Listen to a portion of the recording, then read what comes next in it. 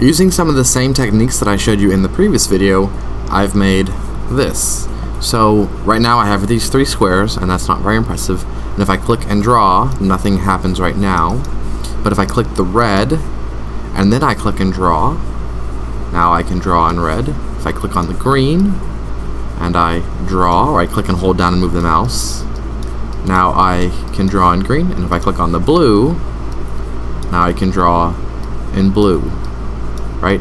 And so I've made this using a lot of the same things that I have already showed you. So if we look at the code, which we have over here, in our setup, I've said no stroke. I did shrink the canvas a little bit because I didn't want to have to do math. And dividing 300 by 3 is a whole lot easier than dividing 400 by 3. So I've made three rectangles, that's these. All of this is being done in the setup.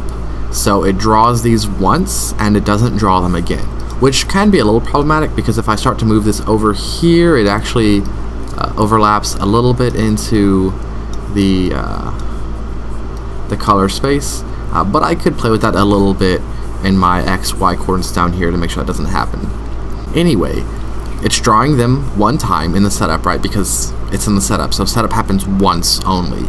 We know the function draw loop happens again and again, and that's where I've uh, created some interactivity to allow us to paint. Now, of course, I only chose three colors because it's simpler and it's a lot easier for you to see how it works, but you could add in a whole bunch of colors, right? You could mix these around and make a whole lot more squares and add a lot more choices for this. So what I've done is I've made it so that if the mouse is pressed and mouse X is greater than 100, this is 100 right here, here's a 100 sort of a line or border, then it's going to change the stroke weight to be a random value between 10 and 20. That gives us sort of this uh, more of this like painterly style, right, where it's not always exactly the same size, which I like a little bit better. And it's going to put a point there uh, where the mouse is uh, a little bit up and to the left of the mouse. I think that's a little bit easier to see than I think what's right under the mouse. It's a little bit harder uh, for people to see where they're painting. And that's just based on kind of how I think users interpret things. Now, if this isn't true, if the mouse is not pressed and the mouse is not greater than this 100 line, then it checks these things. First, it checks if the mouse is less than 100 and if the mouse is less than 100 on the y-axis as well. So it's less than this and it's less than this. Then I know you're clicking in the red and it sets the stroke color to be red. If on the next one we're still less than 100 on the x-axis, but on the y-axis we're greater than 101 and we're less than 200, so between here and here, then it changes the stroke value to be green, right? RGB, so full green. F is full, right? Well, F doesn't stand for full, but um, you know, these values, 0 to F, so 0, 1, 2, 3, 4, 5, 6, 7, 8, 9, A, B, C, D, E, F. F is maximum, right? So F is as much green as it can be. That gives us, you know, this color. So setting the stroke to be that, which, you know, then when we draw, that's the new stroke color. And the last one, if mouse is pressed is true, and x is less than 100, so it's on this side of the x-axis, and it's greater than 201, so it's greater than here. I didn't worry about being less than 300 because where else is it going to be? Like, I mean, I guess they could click down here, right? So if we click down here, does it work? Yeah. Clicking down here still makes it blue, but eh, I don't care. Then, the stroke becomes blue, right? So no red, no green, as much blue as possible, right? So that makes the stroke blue, and so then when I draw again, the stroke has not been changed, right? Because I don't have any stroke values in the draw loop, except for when we're clicking somewhere over here, right? So now the stroke is blue. The reason why I put these way up here is because if I put this down here into the draw loop, then what happens is it basically doesn't work, right? So if I click, right, there's no stroke and I can't draw because even though I'm setting the stroke in here, as soon as the draw loop runs again, this no stroke is taking over. If I delete the no stroke, it would work, but watch what happens.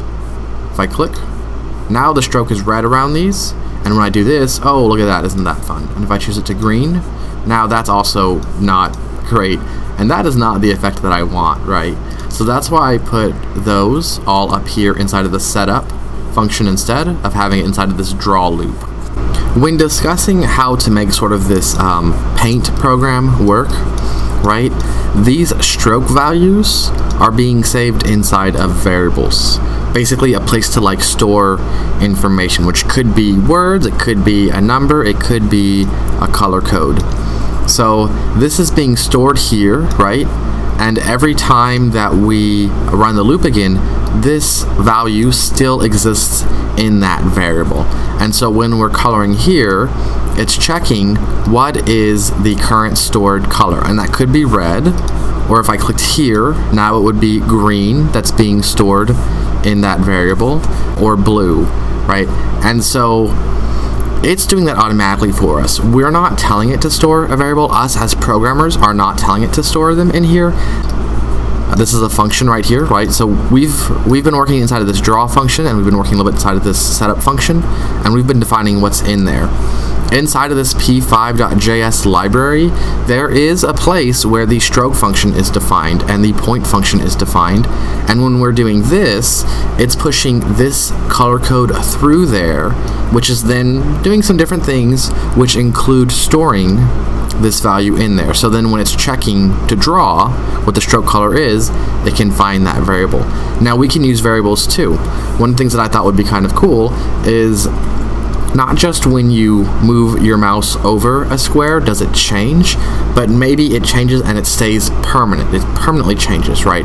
And we sort of saw that before with the background issue, but I wanted it to be a little different. Instead of just changing the color, I wanted maybe the square to like sort of like burst into smaller squares. So how can we do that? Because that requires two things. That requires deleting or hiding the original square and then making new smaller squares around it. And that's easy to do when the mouse is over it, but as soon as we take it off, what's going to happen? So let's play with that idea. So first thing I'm to do is I'm going to make a copy of this so that way I don't ruin my, my previous work. And we'll call this uh, maybe coloring program, right?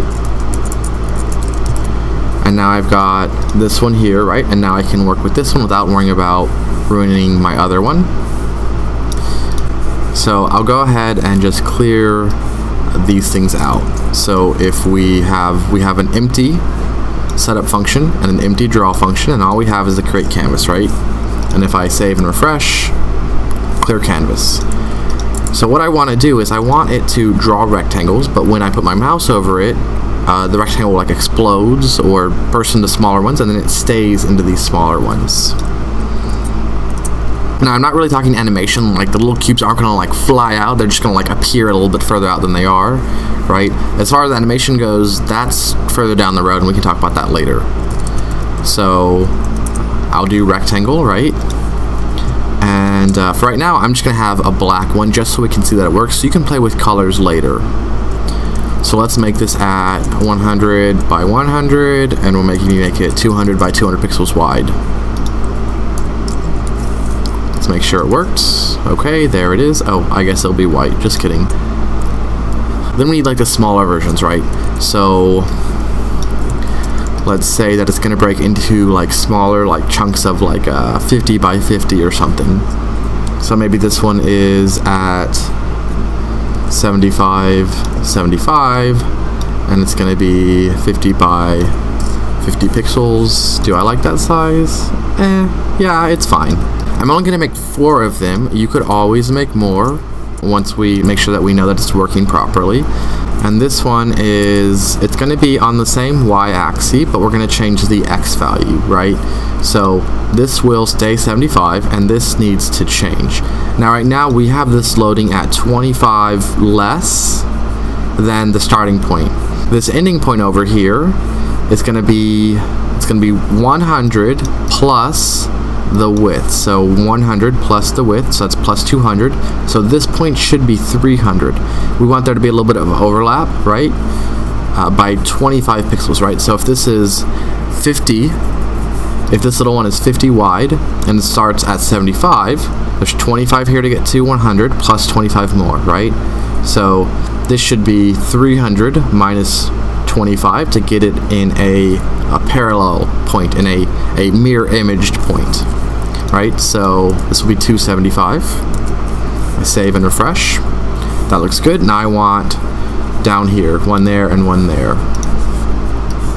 I'm actually going to copy and paste these instead of rewriting the whole thing because um, basically I just need these again but down here so now I just need to change the the y value of these two because the x value is already correct because I already, already found those so if this is um, 100 here and this is 75 then down here would be 275. It's the same thing that we did over here, just on the y-axis instead.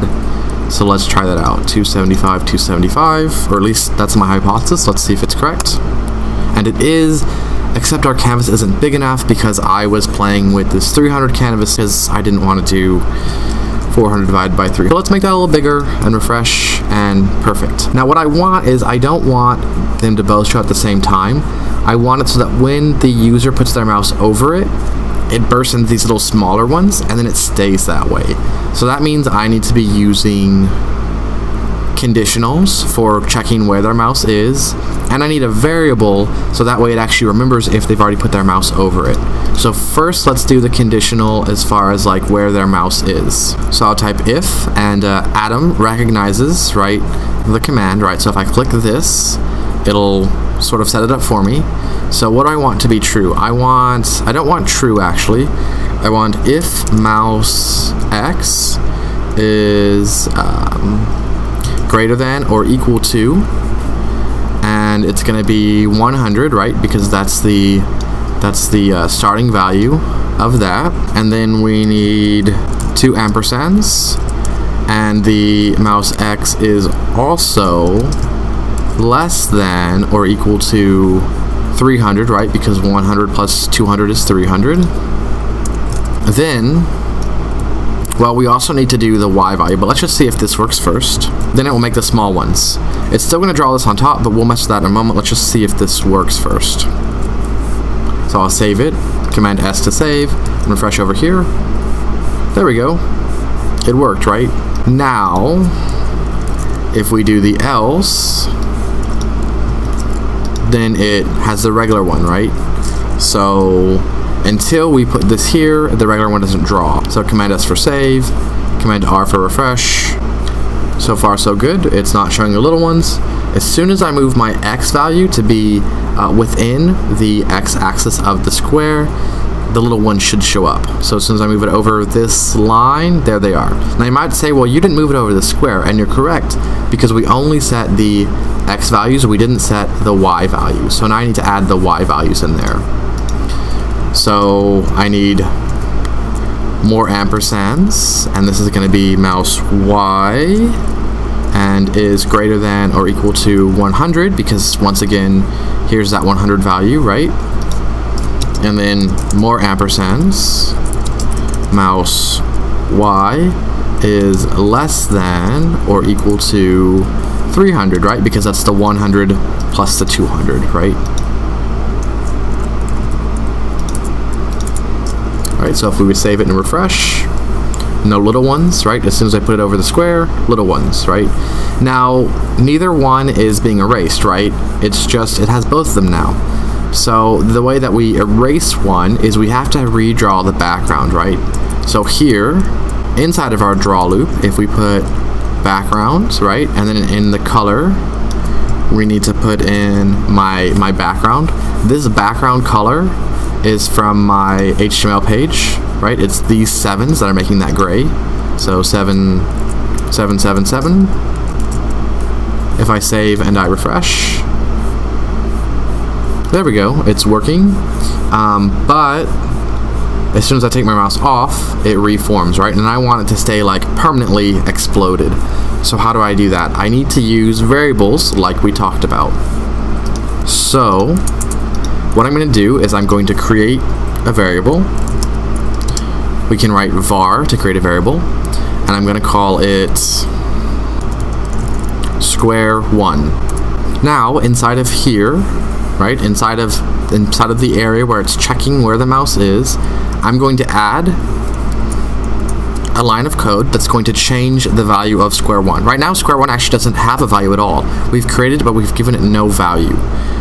So I'm going to say that square 1 is equal to 0. I'm just going to make it equal 0.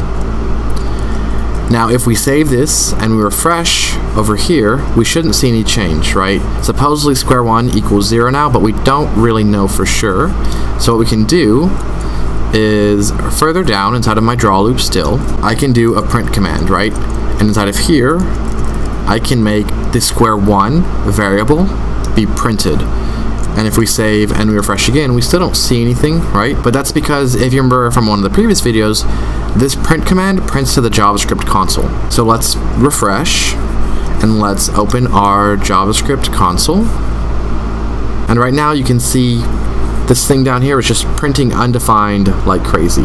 If I mouse over the square, now we can see it's printing zero like crazy. So the variable changed, right? The square is still not doing what I want it to, but we can see the variable worked. So now we can rethink this bit here. So that way it checks on what the value of the square is and then decides what to draw.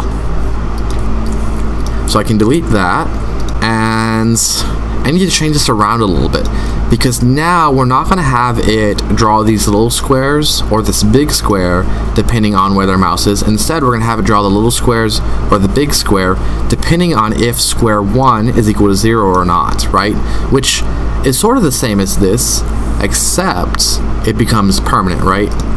So I'm going to make a new if statement, and this is going to be if square 1 is equal to 0, then I'm going to do these things.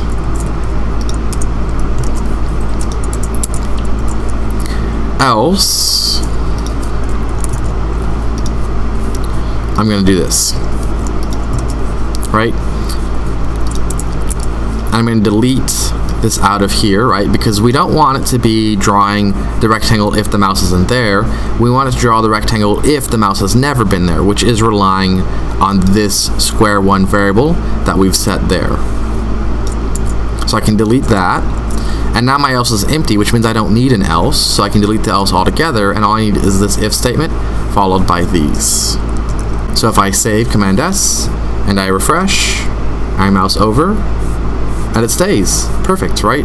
So what it's doing is right now on here this is drawing this rectangle over and over and over again right? It's drawing it 30 times per second. Right now this is not being drawn because square 1 does not equal 0 right? Right now square 1 equals nothing right? And we can confirm that by putting this print command back in right? So if we do square 1 refresh this. We do the show JavaScript console. We can see just undefined is being printed like crazy, right? So square one is not equal to zero, so it's drawing this rectangle. As soon as I put my mouse over that square, those coordinates, not actually the square, right? Remember, it's, it's actually these coordinates that just so happen to line up with the square perfectly. It bursts, right? Because now square 1 has been made to 0, and we can see that down here. And since square 1 is 0, it is now drawing these little rectangles instead of this one, right? And this background is hiding that original square. If we got rid of this background up here, right, it would still work, but this square has been drawn, right? And there is no background being drawn, so as soon as I mouse over, the little squares are drawn, this big square is not being drawn anymore, but it still is shown because we haven't like drawn over it with the background, right? Which is what this does. So that's how you can make that work. So if I wanted to have a whole bunch of them, then I could make lots of squares, right? And I could make lots of square variables, one for each square. And so that way, when they mouse over all of them, it changes the values and decides which ones to draw which I've already done. So if you check this out, you can see all these little squares explode.